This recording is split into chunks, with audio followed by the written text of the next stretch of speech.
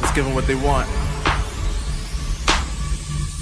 Uh, I'm on a mission, I'm focusing on my vision. Yeah. Never see competition, cause all I know is I'm winning. Yeah. Always knew I was different, I knew it since the beginning. I told them they never listen, but now they see that I'm gifted. I really put in the work, uh. risk it for my reward. Yeah. Put my feet in the dirt and also water the soil. Uh. Hey there, Mr. Bill Poker Peeps. Welcome to the vlog. Hey, if you've watched my vlog for very long, you know that I say that I'm a better tournament player than I am cash game player. Unfortunately, I haven't got to play in a whole lot of tournaments. The WinStar President's Day Series was a week ago and I wanted to play in a number of events. I didn't get to play in a number of events, but I did get to play in the main event. And so this vlog is going to be all about that main event.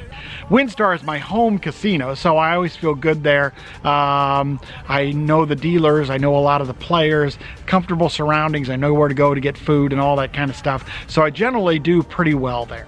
WinStar Mini River main event. We're just getting started at 30,000 chips. All right, let go. So I started with 30,000 chips. I think I was down to 22,000 chips in about five minutes. so not a very good start, but then things turned around. So with blinds at 100, 200, I'm in the hijack with seven of clubs, eight of hearts. I have 26,500. Uh, it ends up being eight players at 200. So the flop with 1,600 in the pot is nine of hearts, six of hearts, three of diamonds. I flop open-ended. The plus one bets 700. I make the call. The cutoff then raises it up to 2,700. The under the gun, the plus one, and myself all make the call. So now we have an inflated pot of 12,400 for the turn, which is, bingo bongo, five of diamonds.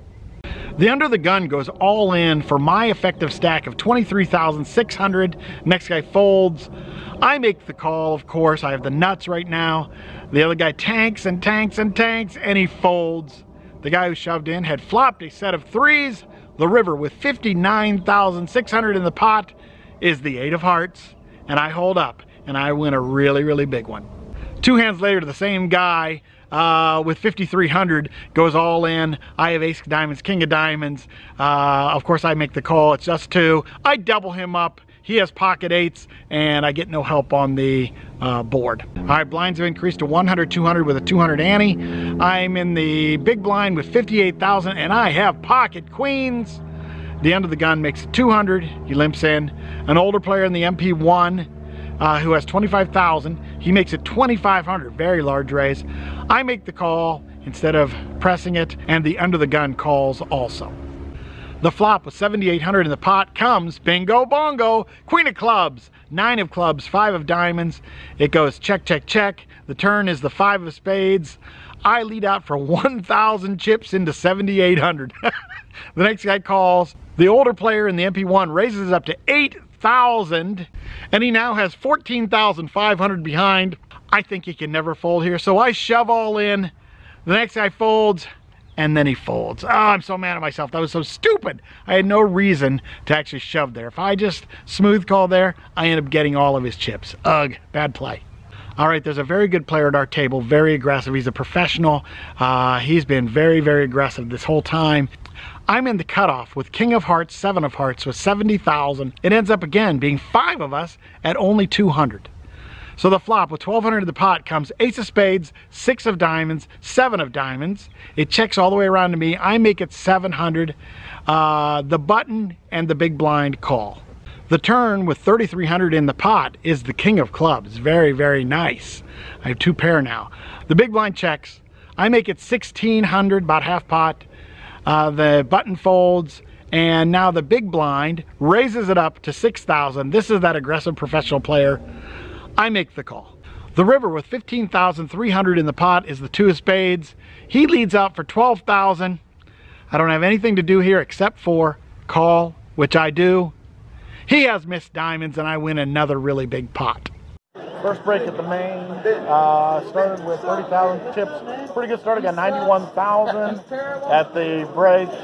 We're getting this, we're, we're, getting this dealer though, who knows, he may, he may, he may snap me off. Anyhow, good start, 91,000. All right, second break at the main, I have 107,500. Chip leader at the table, I'm doing pretty good.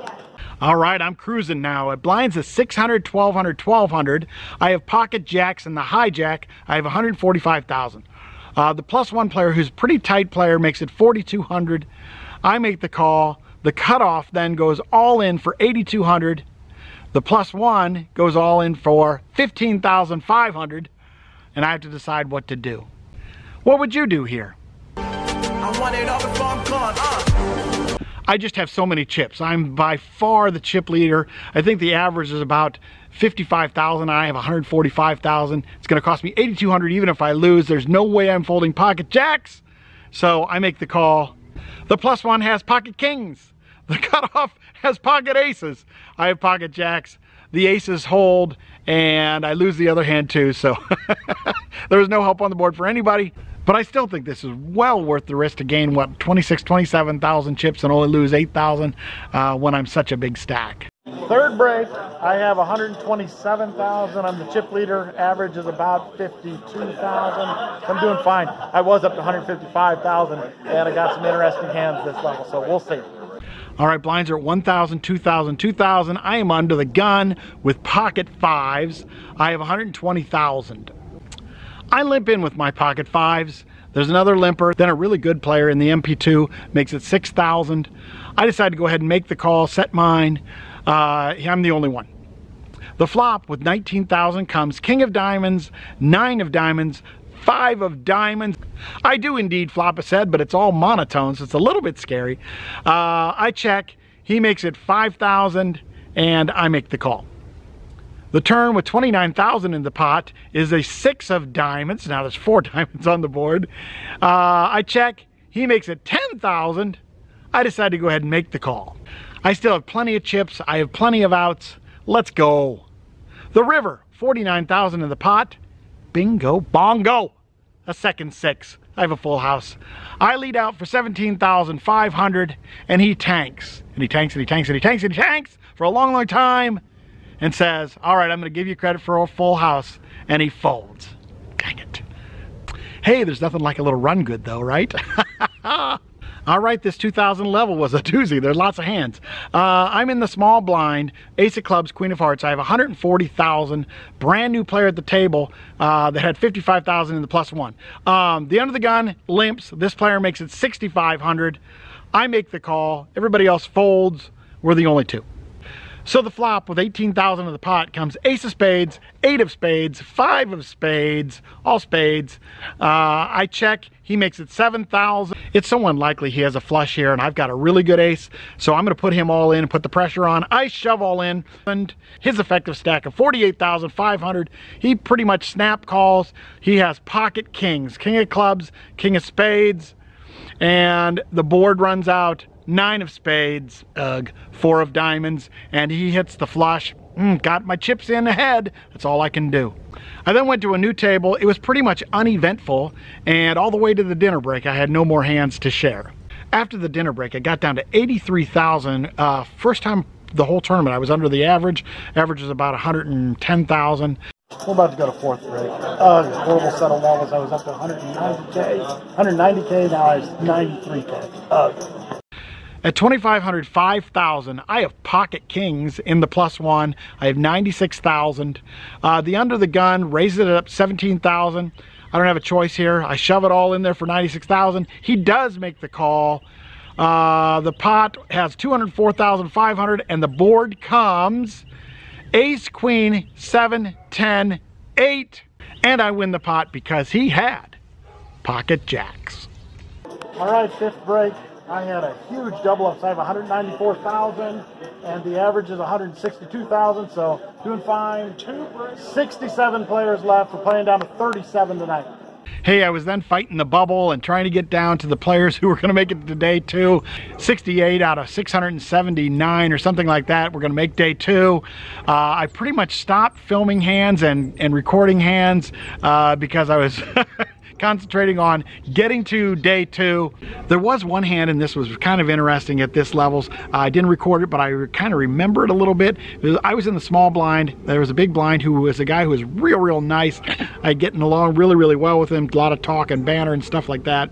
Um, I only had like 10 big blinds, and it folded around to me. I completed and he checked his option. Now he knows that gosh, if I'm completing, he probably could raise and he just take the pot. Anyhow, the flop came like eight high. I had an eight. I made a bet and he folds and shows like ace king. of course, he could have just taken the pot from me uh, pre-flop. I think I had like eight, seven or eight, five or something like that. So I got off the hook a little bit on that one. All right, WinStar River main event. I made day two. There's 68 counting back for day two. So let's go, Mr. Bill. I'm a little bit short. I have only 10 big blinds, but there's a lot of people less than me too. So, all right, let's win some big money tomorrow. I want it all before I'm gone. Walking in for day two of the main event. All right, day two of the WinStar President's Day main event. Here we go. I got 165,000 blinds at 5 and 10. There you go. Well, this sucks. I lasted 20 minutes in the day two. Got it in ahead twice. Our blinds are 5,000, 10,000 with a $10,000 big blind ante. I have 165,000. I have ace of clubs, 10 of hearts. It checks around to the button, who's the small stack. He has 75,000. He limps. Small blind folds. I shove. He absolutely snap calls with 8-9 of diamonds. and the board runs out. 2, 3, 9, Jack, Queen, Ugh. I'm down to 80K. 8 bigs. So I make it all the way around to almost my big blind again. I'm under the gun. I need a hand. I look down at two red tens. I shove all in for 80,000. It folds all the way to the big blind. This woman has been just as uh, red hot to start the tournament. She calls with ace queen, and the board runs out. Ace, two, five, nine, eight, and my main event is done. Ugh. So the only thing I can be happy about is that, uh, for today anyways, was that I made good decisions. Uh, neither one of them worked out very well. I lost both hands. But hey, I made right decisions. I was ahead both times. That's all I can ask for. All right, the main event was relatively successful, just not financially. uh, out of 679 players or something like that, uh, I ended up finishing 57th. I started day two in 49th place. Uh, hey, I got it in good twice. That's all I can do, and you got to hope that you run well. I ran well on day one, and I also played as well as I can possibly play, so I'm very, very happy about that and I can't do a single thing about day two. Uh, that's just how it goes. The tournament costs $500 to play, and I think I cashed out for 981 so I made $481. Disappointing, but I was very, very, very happy in how I played.